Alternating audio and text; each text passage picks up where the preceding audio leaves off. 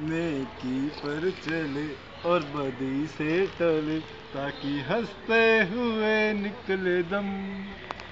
ए मालिक तेरे बंदे हम, ऐसे हो हमारे करम। नेकी पर चले और बदी से टले ताकि हँसते हुए निकले दम। बड़ा कमज़ोर है आदमी। अभी लाखों है इसमें कमी। पर तू जो खड़ा है दयालु बड़ा, तेरी कृपा से धरती बनी है तेरी रोशनी में जदम।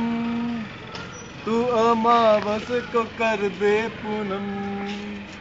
नेकी से चले और बदी से टले ताकि हँसते हुए निकले ट्रेन में आते बोलते वो डायलॉग बोलो कमी है वो दो पत्थरों की और वो टक टक टक टक टक टक